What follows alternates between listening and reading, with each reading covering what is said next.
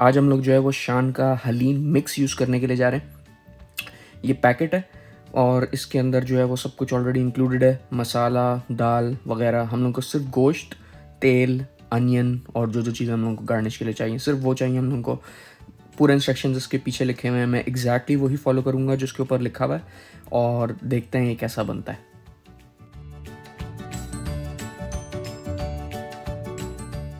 अच्छा डब्बे के अंदर जो है वो दो मसाले इंक्लूडेड हैं। जो पहला वाला मसाला है वो लिखा हुआ है हलीम मसाला यानी कि ये वो मसाला जो हम लोग गोश्त के साथ डालेंगे। और दूसरा मसाला जो है यानी कि दूसरा पैकेट जो है उसके ऊपर लिखा हुआ है आम, हलीम दाल लेंटल वगैरह का यानी कि ये वो मिक्सचर है जो आ, दाल वगैरह का है। तो उसको हम लोग पानी में भिगो के इसको ऐड करेंगे। इंस्ट्रक्शंस फॉलो करते हैं देखते हैं आ, क्या क्या चीज़ें हैं क्या क्या स्टेप्स हैं साथ साथ लेके चलते हैं। अच्छा अगर यहाँ पे मैं आपको बता दूँ अगर आपने सब्सक्राइब नहीं किया अभी तो प्लीज़ सब्सक्राइब कर लें। इससे जो है वो हम नई नई रेसिपीज़ आपके साथ शेयर करते रहेंगे। अच्छा पहला स्टेप यही है कि हम लोग को एक कप घी या ऑयल लेना है मैंने यहाँ पे घी लिया है। उसको गर्म करना है और उसके अंदर अपना गोश्त डाल के उसको अच्छी तरह थोड़ा सा फ्राई करना है। गोश्त आप देख सकते हैं मैंने जितना पीछे लिखा हुआ है मैंने एग्जैक्टली exactly उतना ही लिया है। सो so, थोड़ा सा मैंने एक पीस ज़्यादा लिया है मैं वेस्टेज नहीं चाहता मेरे पास इतना अवेलेबल था। तो घी जो है वो हम लोगों ने गर्म कर लिया है इसके अंदर मैं अपना गोश्त ऐड करूँगा।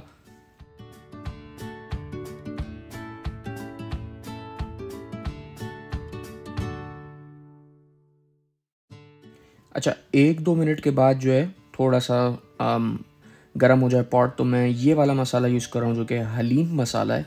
ये पूरा पैकेट खोल के मैं इसके ऊपर डाल दूँगा और अच्छी तरह इसको आ, हम लोग गोश्त को गलने के लिए रख देंगे।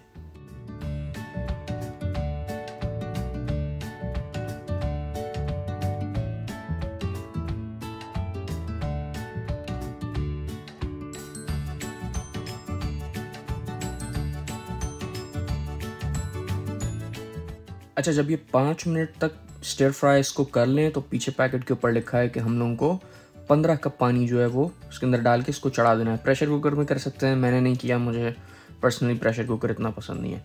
मैं इसके अंदर एग्जैक्टली पंद्रह कप पानी डाल रहा हूँ और उसको गलने के लिए रख दूँगा ऊपर से ढक्कन लगा के।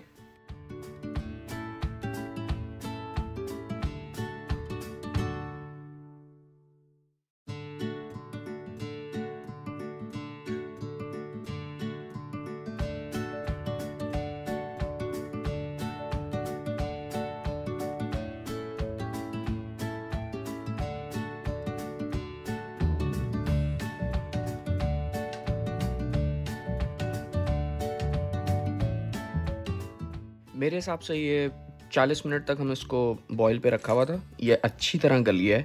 अब लिखा हुआ है कि इसको हीट से हटा दें आ, मीट को अलग कर दें इस तरह मैं इसको छान रहा हूँ। और बोन्स को भी अलग कर दें। मैंने बोन्स यूज़ नहीं किए अगर आपके पास अवेलेबल है तो आप बोन्स यूज़ कर सकते हैं। यहाँ पर मैं डेढ़ कप पानी के अंदर ये दूसरा वाला पैकेट यूज़ कर रहा हूँ जिसके ऊपर लिखा था दाल लेंटल वगैरह वगैरह। इसको मैं अच्छी तरह इसके अंदर डाल के इसको डिज़ोल्व कर लूँगा ताकि मैं अपने इसको हलीम में यूज़ कर सकूँ।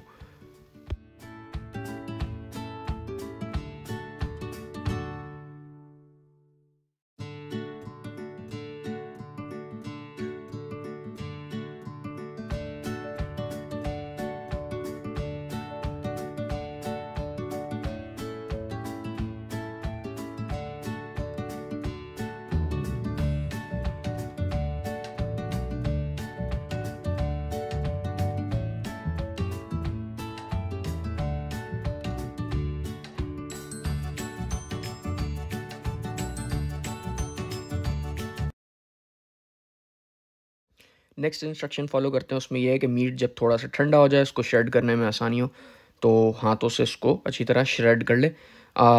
श्रेडर भी यूज़ कर सकते हैं मैं थोड़ा सा हाथ से करूँगा उसके बाद हलीम में श्रेडर चलाऊँगा तो ये बिल्कुल फ़ाइन हो जाएगा। मुझे ज़्यादा फ़ाइन नहीं पसंद है मुझे थोड़ा सा गोश्त मुँह में आए तो अच्छा लगता है तो मैं इसको ज़्यादा नहीं चलाऊँगा। इसको इस तरह करके वो जो पानी हमने जिसके अंदर गोश्त बॉयल हो रहा था उसी के अंदर हम लोगों ने वापस इसको आ, रख दिया है इसको अच्छी तरह मिलाएँगे। थोड़ा सा इसको हिलाने के बाद हम लोग ने वो वाला मिक्सचर जो कि दाल वाला था, जिसके अंदर मैंने दाल वाला पैकेट डाला था पानी में, अब उसको इसके अंदर ऐड करूँगा। तो थोड़ा सा थिक हो जाएगा और ये दोनों चीज़ें मिलके हलीम को बनाएँगी।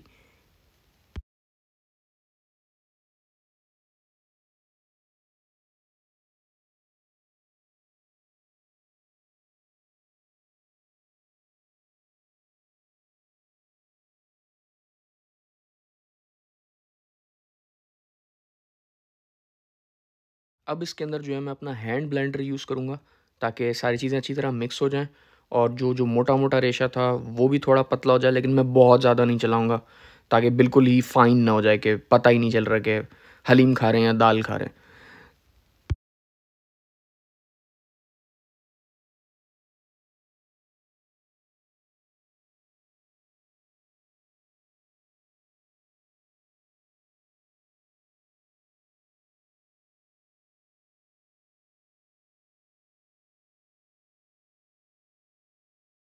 अपनी मर्ज़ी की कंसिस्टेंसी रख सकते हैं। मेरे हिसाब से इतनी कंसिस्टेंसी अच्छी है जो मेरे घर में सबको पसंद है तो मैं इसको इतना रहने दूँगा।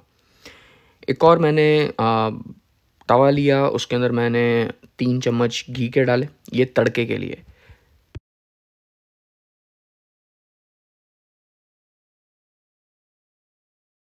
तो मैंने हाफ़ कप अनियन लिए इसको मैं अच्छी तरह फ्राई करूँगा कि ये इसका कलर बिल्कुल चेंज हो जाए। डार्क हो जाए। और साथ साथ मैं चिकन टिक्का मसाला ज़रूर डालता हूँ ऊपर से। इसका तो फ्लेवर बड़ा अच्छा आता है आ, तड़के में इसका। अगर आप लोगों ने कभी ट्राई नहीं किया है एक दफ़ा ज़रूर ट्राई करके देखें बहुत मज़ा आएगा।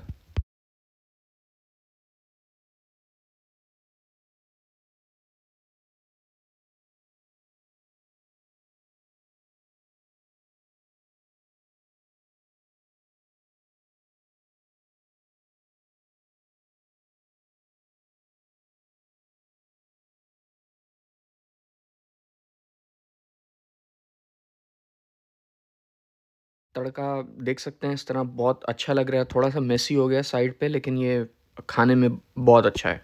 आ, फ्लेवर बहुत अच्छा है इसकी स्मेल बहुत अच्छी है। मेरे हिसाब से कंसिस्टेंसी बहुत अच्छी है इसकी। अगर आप चाहते हैं अपने हिसाब से गार्निशिंग कर सकते हैं ऊपर से। मैं इसको धनिया अदरक हरी मिर्च के साथ खाता हूँ मुझे पसंद है। ये वाली गार्निशिंग आप जिस तरह खाते हैं, मुझे ज़रूर बताएँ और बताएँ कि अगर आपने शान की ये पैकेट यूज़ किया है तो आपका कैसा बना? मेरा बहुत अच्छा बना था, पर्सनली। मैं आगे भी इसको यूज़ करता ही रहूँगा।